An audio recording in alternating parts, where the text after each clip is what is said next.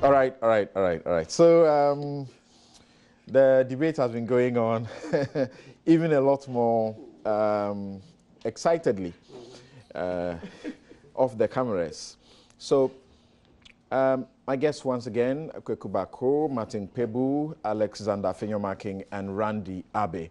Now, a number of things have happened in the KNUST, and some have said it's a bizarre development.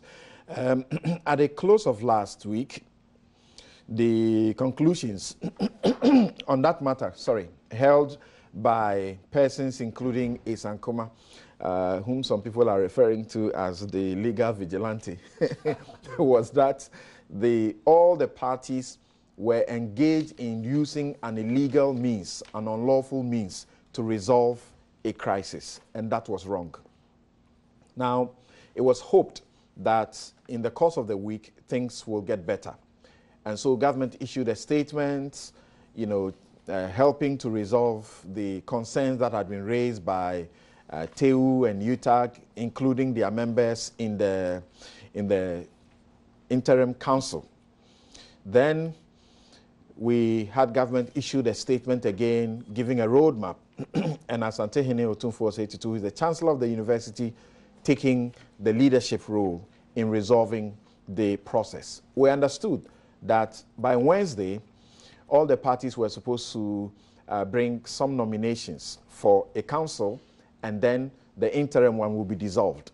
And then by Friday, they would have met to endorse that. Unfortunately, all the parties say they submitted their members, but government did not submit its nominations by Wednesday. Only on Friday for government's position to lead to an unnecessary drag of the discussions that were being held and eventually end up in a stalemate with accusations that government is forcing the union to, as it were, determine the members that it should bring on the council. So that's where we are. Um, I start with Randy on this note. What's your appreciation of what has gone on so far? Some say, uh, if you read the communications from beginning to what we have gotten to, very bizarre. Uh, the government had made mistakes. Instead of recognizing the mistakes, it was making, uh, compounding the situation and further confusing itself.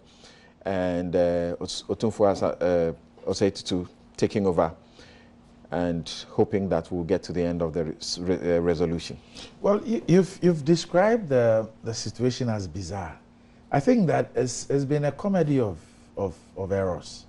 Uh, we've seen display of incompetence from what is led us, what led us to, to, to, to, to the mayhem on that day and uh, um, government's intervention in the matter, you know.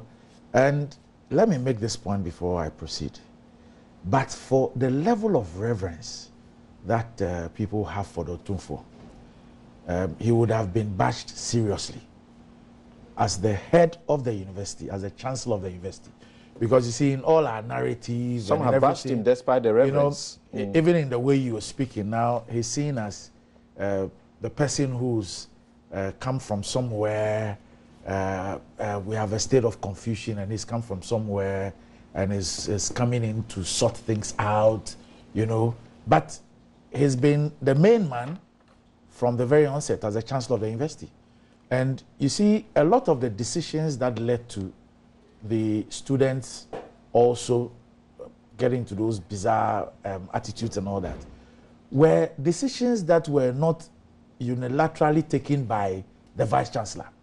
They were decisions taken by the council, you know. And in fact, you'd realize that one of those decisions, like the conversion of the mill halls, is a decision that even government endorsed. Professor Yankah endorsed those decisions and even said that it was part of government policy and was asking other universities, including Alexander's University. I, I, I hear he's been threatening mayhem. Um, yeah, he says they should dare. Okay. That they say For his hall, his particular yes. hall, he said they should dare. Professor Yankah says it's part of government policy. you know? And so, yes, and so, you know, this, these are, are, are decisions that sat well with the university authorities and with the university council, which had all those representatives. I hear the students make the point that oh, we're just one, we will be drowned. But at least we do not have evidence that they voted against it or they were against it and they were outvoted. So this is a decision that everybody, I don't like it when it is made to look as if the vice chancellor himself unilaterally without consulting any councillor. So everybody from the chancellor to the university council were aware, they supported the implementation of, of all these things. Government itself, through the minister uh, uh, in charge of tertiary education, confirmed that it was part of government policy and, and wanted others to emulate it and all that. Now, if you look at some of those decisions, they, they, they, they, they, I believe, were needless. And if you look at the fact that 48 hours after what happened on the campus, the students then told us that they had come into an agreement with the same university council, yeah. which has led to a reversal of those decisions. So must there be mayhem? We are now told that a there's a cost of, of, a reversal of decisions with the exception of the mix of the conversion yes, of the halls. Yeah. Because that one was going to be, um, um, um, I think that it was going to be a bit difficult to, to reverse immediately. And it wasn't the immediate trigger yes. of the violence. Yes, it wasn't. You know, but if you look at the four other issues, this JAMA and Hall Week and all those things, I mean, it within 48 hours, they reversed all those decisions after we've had loss of property and everything. We're told it's estimated at 1.6 million, which meant that it was it was needless, it was avoidable, and people took these decisions and they believed that it was the right decision to take. Now, obviously, with what we saw on TV, government had to step in, mm. either at the regional level or the national level, to maintain law and order, make sure that I mean uh, you, you protect lives and property. So yes, the security moving in and all that, I mean was was was right. Government had to do that. A position of curfew and all that. Government had to do that. Then it came with the dissolution of the council, and then the appointment of an interim uh, group. First question, Mr. Government, before you take that decision, universities that are founded on acts are governed by acts. Those acts exist. I would expect that the first thing that anybody would do is to find out whether I have the legal authority to do what I intend doing. So, what convinced government that he had the right to dissolve the council? Mm.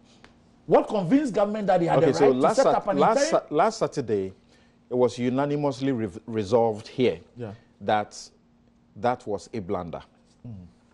with Yaw Buaben Asamoa even admitting that obviously the act, the KNUST Act, doesn't give Claude, the president, power to appoint and remove the vice chancellor, mm. the vice chancellor of KNUST in particular. So I want us to progress the discussion. We have come to a point where we knew we were getting closer to a resolution, particularly with what you referred to the students, you know, uh, release that they brought. We were told just yesterday by the president of UTAG at KNUST, Dr. Eric Opoku Mensah. He said, as we met on Monday, we set up the roadmap that on Wednesday all unions, together with government, will submit their nominations. UTAG and their unions and other unions did fulfill our part of the agreement and did so on Wednesday. And we expected today, Friday, the new council will be inaugurated so that the interim council can bring its work to an end. Government doesn't have a right to determine who should be chosen by a union to represent it on council. We are just surprised and we feel that government has reneged on its promise and that this is a breach of trust. So, well, it sounds a bit confusing, that, but I, I, I get to I, I truncated so to pick his. Yes. Yeah. You know, on the earlier issue I was raising, why I was focused on that point mm. was that you see, it's not as if government just issued a statement and in a few minutes or few hours, it realized that they had made a mistake and we withdrew from that position. Even 48 hours on, it was adding up to the interim council. It was adding. It came to add UTAG and others 48 hours on. And I'm saying that something as basic as the act governing a university. Randolph, it's not that straight. Too. Oh. It's not straight. Well, when I get my chance. Yeah. Well, it's not strict. I, I find it I find it basic, honestly. Because if I am going to take a decision, I must first of all determine for myself whether I have the right to do so. the act is subordinate to the constitution. Okay. Interesting. Okay. So if if if that were the and I'm sure that when you get there you have the opportunity of of telling us. So then where where was the U-turn? Why then is the U-turn? Why is it that now we've come to accept what the act says and we want to go by what the act says? So that there is institutional representation. And when there's institutional representation, I'm sure that irrespective of what the constitution says, you don't determine for institutions who should represent them. You have your four slots. You determine who fills those four slots. For the others, you don't determine for them. So if there's institutional representation and there's a place for UTAG, for TEU, for the students, it is not for government to determine who represents them. They must determine who uh, they, they, they deem appropriate to represent them. You know, that's, that's, that for me is the situation. Now, from what you read, it appears that all others are ready with their representatives, but for government. Now, if you read the statement, the last statement government issued on this, this matter, the one uh, signed by uh, the, the Honorable Minister of Information, Yes. it said that they had asked uh, the Chancellor to reconstitute uh, the council by Friday. Now, two things. When I saw the word reconstitute, the first thing I asked, I asked myself was, does that suggest that the dissolution stands? Because you can only reconstitute something that has been dissolved. Thank you. So, in the midst of all the issues that have been raised with the law and the act and everything, does that presuppose that the dissolution stands? For which reason it must be reconstituted? That's one. And two, if you have asked Otumfuo to reconstitute the board, and by the act you're supposed to send your representatives, and you have asked them to do it by Friday, you will be the first to be expected to submit your representatives. So if we have Friday, Friday has come to pass, and from what you're reading, all others are ready with their reps, but government is not ready with its reps, and therefore the council has not been constituted or reconstituted, then you would want to ask maybe the seriousness that government attaches to its own uh, uh, statement and its own, um, I don't want to say a directive, but its own overtures to the Otunfo to, to, to reconstitute. I'm still not sure if that is the appropriate, appropriate word. Okay. Do you But I really out? want to. I really you- want do to. Yeah, yeah. I really want to hear Martin's Okay. uh, constitutional thing. Yeah. Okay, really- okay. Yes, um, then Martin, you may Yeah. come in immediately. Okay. Yes. Yes, but I, I, I would wish that we can progress it so that we move on, on to where the stalemate now is. Um, I'm getting information that suggests that government has eventually now nominated eight representatives for that committee. Um, when? yes. Um, When was that done? I, I need to I need to double confirm because the I'm seeing something that suggests that some nominations have been made, and so what happened yesterday may not continue. Yes. Yes. So basically, eh, you know, as for the, the dissolution, me from day one, as soon as it became public, when I looked at the Constitution and looked at the KNUST Act, Act 80, I was left in no doubt that, look, the president had power to dissolve. Article 70 is clear. When there is uh, apparent conflict between an act of parliament and the Constitution, the Constitution takes precedence. Where's the conflict? So that's why, that's why I even said apparent. You see, in the Act 80, Section 7, it just says the council shall comprise the following. It doesn't say who will appoint. And so some are jumping on to say that, oh, then that means that the president doesn't have power. That's the interpretation that was being done. But the Constitution is clear that the governing councils are appointed by the president. Clear. Governing councils. Yes, yes, it's Article 70. So, and even this uh, uh, Act, Act 80, that power that has been uh, said.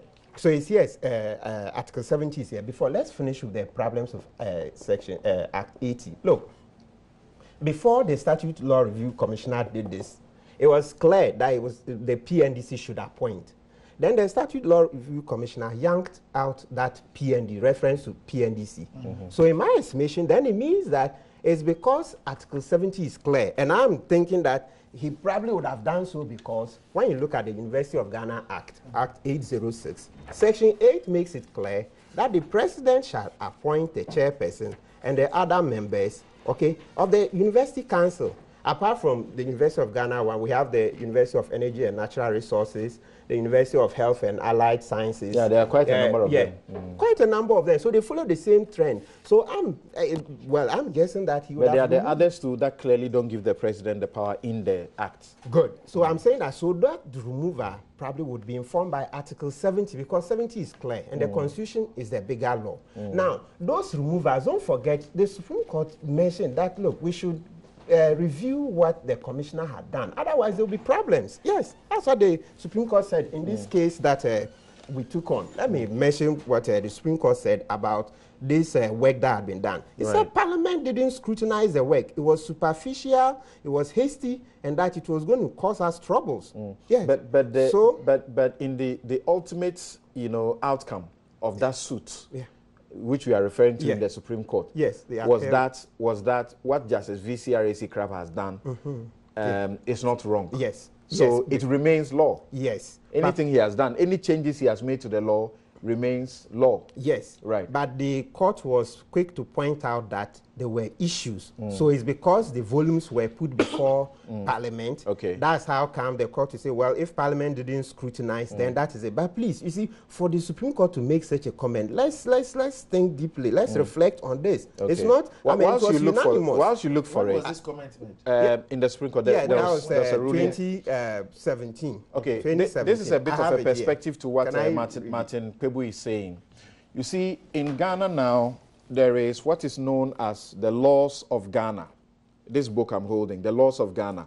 It seeks to consolidate or as in bring all the laws of Ghana into, you know, one hub so that it makes easy accessing. Mm-hmm. And there was the Law Review Commission headed by Justice V.C. R.A.C. Crabbe, who did that work. In fact, most of the laws too had a language which, which was archaic. Mm-hmm. And so part of his work was to bring the language to all ordinary people to read and understand.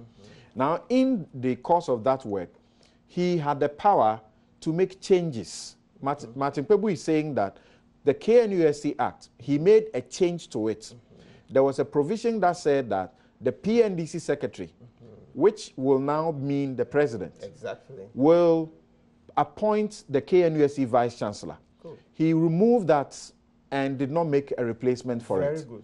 He is saying, in the absence of that, it is Article 70 of the Constitution which gives the president the general powers of appointing to boards and so on. That's supposed to do it. Okay, Excellent. so yes, that's quick. good. It's good you've explained this. Yes, and you see, before I continue on it, please, let's say, in my heart of hearts, Mm. I wish that the president doesn't have to do all those. Okay. That at least. So let's get to that quickly. independent. Yeah. But when we look at the, the law, we can't run away from Yeah. it. What did the power. Supreme Court say? This is what the Supreme Court said. It said, look, it is, however, a sad commentary that Parliament failed to live up to the trust reposed in them by the people of Ghana by their failure to be the true watchdog in such critical matters. This is because the deliberations on the adoption of the seven volumes of the laws of Ghana were hasty, superficial, and lacked any commitment. This was no indication of any elaboration, there was no indication of any elaborate study and scrutiny of the volumes for any informed contributions by members who were just satisfied to pass them. The result is the unraveling, too late in the day, of far reaching changes that perhaps were never contemplated.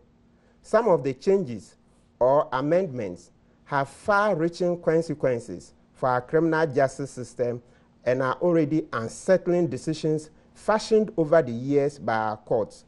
Yet, Parliament approved them all and takes full responsibility for them all. Then it goes, and then the Supreme Court also went on further to say that the Attorney General mm.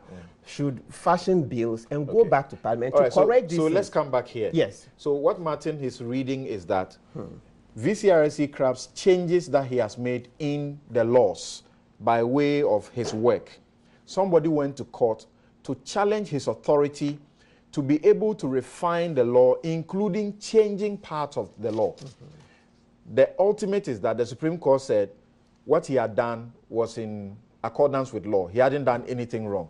but they took. Uh, Because it went through parliament. Yes, Yeah, exactly. yeah. Because, Because Parliament it didn't yeah, through but they scrutinize. took Parliament on Yes. for not scrutinizing Yes, the process. Yes. Okay, but so now there are so many yeah, lawyers so, who so now let's proceed to KNUSC. Yes, yes. So, so what I'm saying is that it's because uh, the commissioner took off the reference to the PNDC secretary. That's how come now people are saying, oh yeah, then it means that the president doesn't have the power to appoint. But I'm saying no, no, no, no, no, not so fast. Article 70 is clear. That is the president who has power to appoint the governing council, members of the governing council. Maybe for emphasis, we should read. Um, so 71 um, DII. So, okay, the president shall, in consultation with the Council of State, appoint the DII, the governing bodies of public corporations. And please, when they use the word public corporations here, it's not just the commercial ones owned by government, but in this instance, the universities also qualify. Ace Ankomah doesn't seem to agree with Yeah. this postulation you have Yes. about including public universities into But that uh, is this it. thing. In the, well, uh, he's asking questions Yes. about them. So in the case of uh, uh, NMC versus Attorney General, yeah, the Supreme Court made a distinction. There's the profit-making ones, the commercial ventures, and the non-commercial. So this, the universities will fall under the non-commercial. For the avoidance of doubt, Parliament itself. So where was Parliament looking when they passed Act 806, the University of Ghana Act, mm-hmm. and in Section 8, they clearly stated, let me read, Right. says the President shall, in accordance with Article 70 of the Constitution, appoint the chairperson and other members of the university council. Okay. And there are several other universities. Council, let- uh, uh, Sam, let me make this last point. Those insisting on the changes that Crabbe made, which they are saying, oh, yes, yes, yes, that means that the president lacks the power. power. Please, when we open Act 80, you will find that there is provision still in Act 80 that Act 80 is the KNUST Act. KNUST Act that there should be a member nominated by the Committee for the Defense of the Revolution, CDR. Now they should tell me, is there a CDR member on the University Council? Don't approbate and reprobate. Let's be consistent. Mm. Is there a CDR member on the University Council? If you open your Act 80, All right. you So- will see So that's So- one of the four so- so taken maybe- by government. Yeah. that's one Yeah. of the mistakes. So maybe So this, tells this you- not last bit, because the majority of lawyers who have done the interpretation and insist that the president But- doesn't have power Yes. come to a conclusion that the act takes away the power from the president to do that for KNUST. Yeah. And they say that the mm-hmm. principle of law you have learnt mm-hmm. In interpretation of laws, uh, uh, statutes, and deeds Yeah. is that where an express provision has been made for something, it takes away the general Yeah. expressio juris. Yeah. So in that regard, you w- here is express. The express provision defeats the constitution's broad It uh, provision. The constitution is the bigger norm. The- The the constitution is statute, supreme. are you exactly. the Sam, statute? Sam is pushing Some- the boundaries. Please, I'm, I'm asking No, so questions. Sorry. So let me Sorry. answer. So Yeah, let me answer. yeah. Article 1, Clause 2 makes it clear that the Constitution is supreme. Mm. Any other law which is inconsistent with the Constitution is void to the Okay. extent of that inconsistency. Okay. Okay. So the Constitution is the final authority. So 170 is clear. It's Mm. clear. And even Parliament, by its own acts, subsequently has acknowledged that the president has power to appoint the members Interesting. and chairperson Interesting. under, uh, Interesting. this, uh, uh, okay, so let, us now move Yeah. to Kuku. Yeah, Let's now move to yeah, Kuku. yeah. Um, let, let's let's let, Something, no, no, let's no, no, the. Sam. 30 Um, um, Ace Ankomah. I I'm avoiding. last, uh, I'm avoiding the situation where we turn this place into uh, an LLB No, class just to clear 101 something. Something just to clear, interpretation. just to clear something for me. Yeah. Yeah, If if if Martin's position is to be upheld, it's sound, isn't it? It's sound. well, it's the his, it's his, clear. his, his, he's trying to convince me. but this is the question I have. Okay. If his position were the appropriate position, how come government has backtracked? Okay. You have asked that question already. Yes. So let's go to Kuku now. How come government has backtracked? and now okay. government is focused on its four representatives. Right. Thank you. Thank yeah, you. so this is the answer. Definitely, as I said, the whole uh, one very uh, significant aspect of this is that we all wish that the president doesn't have to have all those powers. Mm. So it's good that the president has been magnanimous by saying, okay, I'll hold back, let Otunfo lead. And please, in Kumasi, we all know Otunfo is like head of state. So it's good. That's good sense because he is so much in charge there. Mm. Okay. But it doesn't mean So that the constitution is no Okay. longer supreme. No, it's still it's his power. so, so, and he so can in, delegate. in 30 He seconds, in 30 let it. seconds, Martin, Yes. don't, Yes. don't respond to uh, Okay. uh, Randy. Yes. He's forgotten. He thinks he's on Good Morning Ghana. Ah, okay. Oh yeah, yeah, that's right. Mm-hmm. So tell me, in 30 seconds, Yeah. what do you see to be the path to a resolution in the, in the impasse? Uh, to be candid, to the extent that there was so much distraction, okay, yeah, the riots and everything, the negative uh, aspects, everything that has gone so bad with the riots, and that, I think that look, improper standard management practices, the old council has to step aside. Yes, they should step aside. Which is Look, what they are doing now. Exactly. Bring Ah, on oh, no, fresh no, blood. no. Bring Okay. on fresh blood. You want the Let's- status quo as in government, the way government proceeded Yes. to be what should be. Yes, that we should have a fresh university council. Mm. Those nominees. including the so- chancellor. No, hey, Chancellor, yeah, he's, he's almost like life. So Chancellor's own is that we are talking about the institutional reps. But and I the thought you wanted people to take responsibility.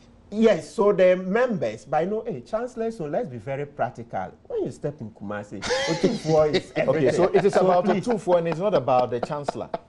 It's about the He's two a for, chancellor. right? And because of the power, you see, When you it comes to dealing with peace. KNUSC, because it is Otumfuo, we should be discriminatory. That's No, what you're not, the, saying. the word is not discriminatory. You see, in the law, as I said, the president should share the power with Utumfo when it comes to reconstituting because he helped. Because you need him for peace and everything for the institution to run. You see, he looms large you have there. said same Yeah. if it were Winneba. University of Education?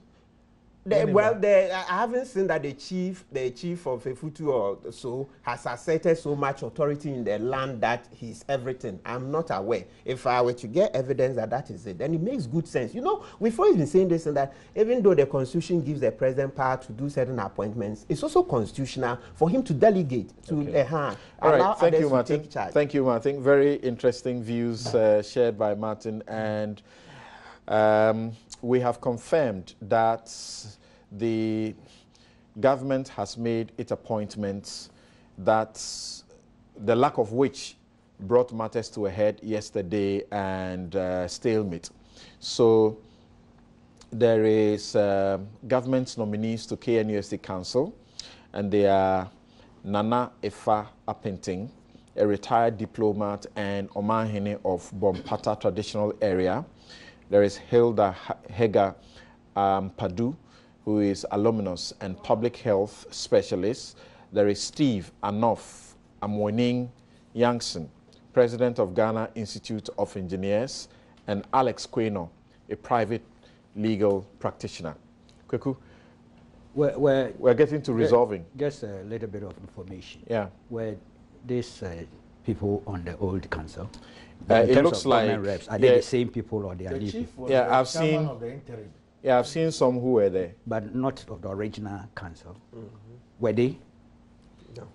I just But, want the information. but there were some who were in the original, uh, the purported dissolved one, and who were also still on the Yes. one that is now going to be dissolved, the interim. No, Yeah. you've not answered this. He says these four Are they new? are they were they part Of the interim. no, not the interim the, Of the old, original. the, the dissolved council Okay. Uh, I need to check, but I think none of them Hilda, wh- none of where them. was Hilda? Yeah, these are Okay. Interim. These are fresh. Okay, quick. Okay, that's Yeah. interesting. See, you know, last week I nearly lost my balance uh, on this matter when uh, it was disclosed that the students and the university management had been able to strike a deal, you know, in the wake of all the violence.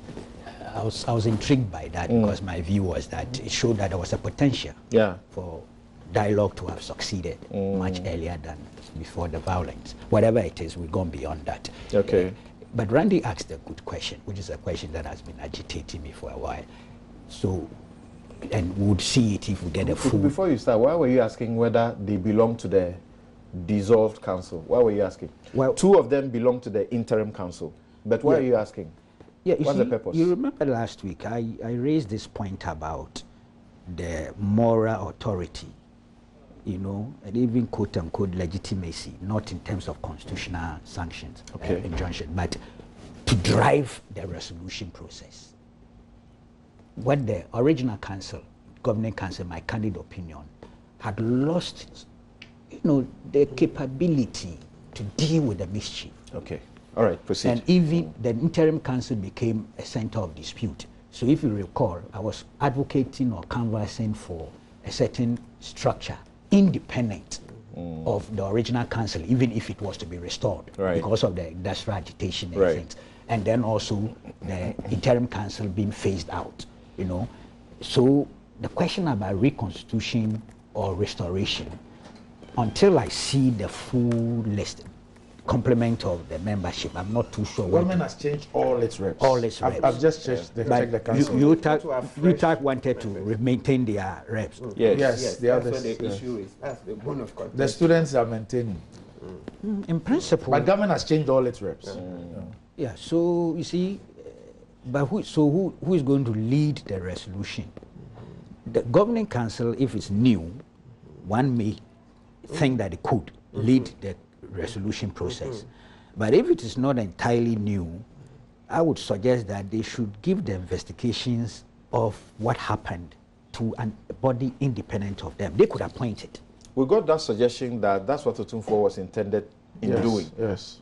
Uh, set up a committee separate from the Yes. council to do the That would be a better placed organism to deal with this mischief. Okay. Okay, the governing council still could have been the appointing authority. That yes, but you take the governing council out of that whole process. Uh, having said that, and I don't want to extend, uh, push the lines. Look, I'm not one of those who would want to exclude the chancellor entirely from blame when it comes to these issues. He was there from day one. Either he didn't engage them or they didn't engage him. Either way, both are guilty, quote unquote, of the situation we found ourselves in.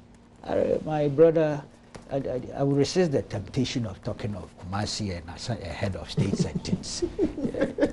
My Republican blood was boiling Okay. when I heard No, you say that. to I know, I know, you were putting it in context. Yes. But the point is that we should be clear in our minds. The chancellor was there from day one, when the processes began, which led to where we are today. So I don't think we should try and do things about exclusion. Even government's own conduct is part of it. You know, this idea that oh, we've handed over the matter to chancellor to resolve, creating the impression as if chancellor was all the time not involved in the matter. He was. Okay. Let's be honest and state some of these things Okay. as we. do. So what do you what do you say? They are saying that uh, UTAG, for example, the government sought to pressurize it to, to, as it were, determine for it who it should bring to the new council. As we know now, uh, TEU, UTAG, the SRC, and GRASAG, they have all maintained their members. I think government had no business pushing that line. Let me Okay. be honest with you. It's ideally good if they were all new people. If the, the uh, says this is my rep, why should government insist that bring another person? Does government have any legal authority to do that? Would the law support government to choose Okay. for UTAG who its rep should be? I think government shouldn't waste its time on some of those things. All right. Okay, so it does appear that there is a resolution uh, in sight, even though this would have happened yesterday if government has submitted its list by Wednesday, as all of them had previously agreed, would have had a new council inaugurated yesterday, and then uh, government's desire of resumption of academic work within 14 days from when the disturbances occurred would have happened. Yes, so Alex, these are matters that you have a, a rare experience in. Yep. You see, Are we getting to a resolution? something? Mm. My problem is the bad faith. On whose side? Unfortunately, has been expressed generally. You see, unfortunately, in Ghana, if you talk about governance at our universities, the immediate response, if you are in government circles, will be political interference. I find that most unfortunate. Okay. Our institutional institutions are funded wholly by government. Vice Chancellor, all workers are paid by government. They take school fees.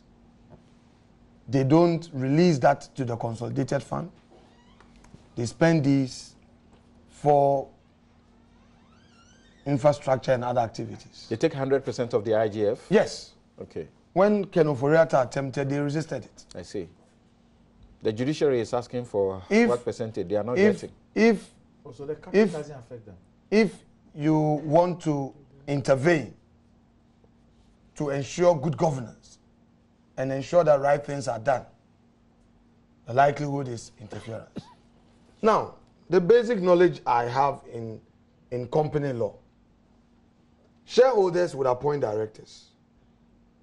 And majority shareholder, the, shareholder, the majority shareholder or the majority shareholders would have overriding powers, although they are not to stampede the right of the minority. And if directors are not steering affairs in a proper manner, shareholders are the people who eventually will lose. So shareholders will step in.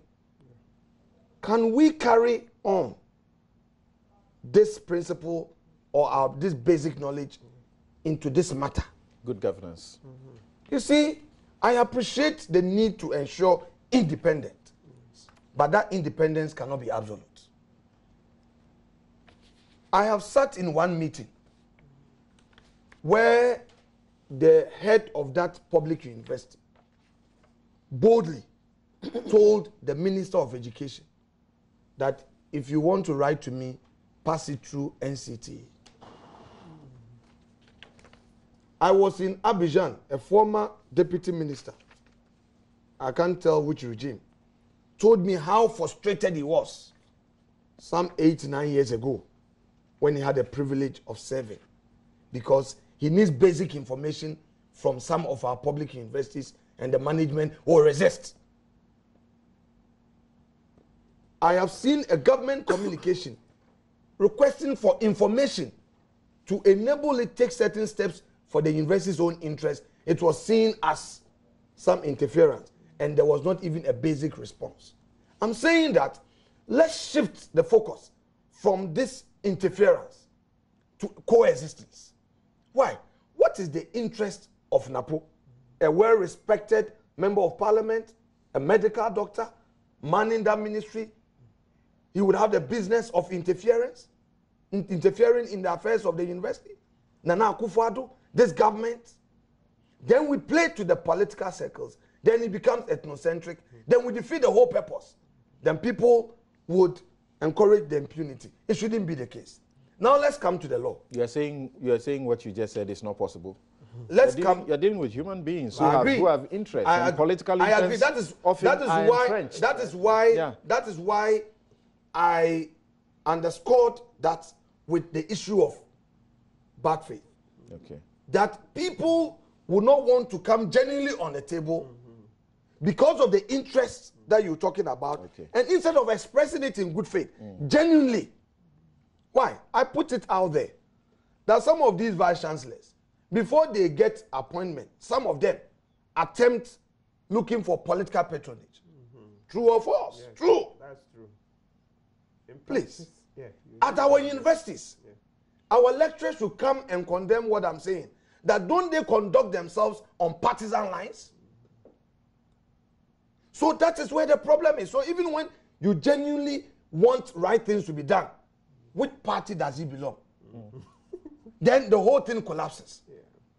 Look, don't let us unduly frustrate these students. It is their future, it's their lives. When this UMPAS started, I am on the NPP platform. The attack on Napo, Napo do this. He said, look, the universities are independent. Governing council, when the man received petitions, he forwarded them to the governing council. The governing council wrote back to the minister that they cannot review certain decisions. The man did not say that by force do it. He said, I have received these, deal with it. Then eventually, the crisis came to a crescendo. People were destroying property. Students, university students destroying state property. Serious. Government intervenes. I am happy that Act 80, I've been reading Act 80 and I've been seeing the inconsistency. Ekeda, Yeah, I agree. That observ- that has not changed though. Uh-huh. So that's it. Now we know the set the lacuna. The, please, I beg you, let me finish my point. Don't confuse me like you tried. to- Let me Try and do this. I'll Try and do this. You see, Then eventually, Then see, there's there's one also additional reason your presence here is very important. Thankfully, we have the ruling of the Supreme Court, which you are going to briefly just No, no, know, I'll uh, kill the issue for us mm-hmm. about the effect of that Supreme Court decision on the new vice chancellor at University of Education, No Winneba. problem. So can you conclude on this I will, very I, I will briefly? safely Yeah, land. I will okay. safely land. Okay. If you permit me. So now we are being told that the government action was illegal. These are opinions. Nobody has gone to court. You see the problem I have again with our country and our public discourse. We raise, oh, this is illegal. But if you go to court, you are rather seen as litigant. You are rather seen as a stubborn person. But go to court with all the issues. A court will be more than determined to expeditiously resolve this matter for us. Then we have a clear path. Nobody is ready to go to court. UTAG is not making that effort. TEU is not making that effort. But we want to put the pressure. Then it becomes political, etc., etc. I court, want to say go to, go to court shouldn't be the first thing to do. I've not by policy, I've not said so, but where you have by a policy, even the court is promoting, you know, I agree. ADR. No, don't 2010, misconstrue. We passed an. ADR It's in law our act, even encouraging criminal- all of us I agree. to promote ADR. Samson, yeah. even in our criminal code, Okay. some misdemeanor, Okay. you are encouraged to Yeah. choose a part of reconciliation. That's right, yeah. But I'm saying, you mentioned interest here. Mm. When you yourself, you know, you have an entrenched position in a matter, I think the best platform is to use the court system than to lean behind a political party, than to call secretly a party member and say, Charlie, we are in difficulty to push this.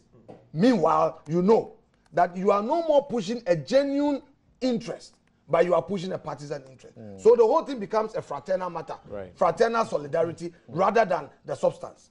Is that the way we want to do it? No, I think it is wrong. Where we are, the interim council, government put it in place as a matter of necessity. Government was clear that they have a limited tenure to normalize the situation.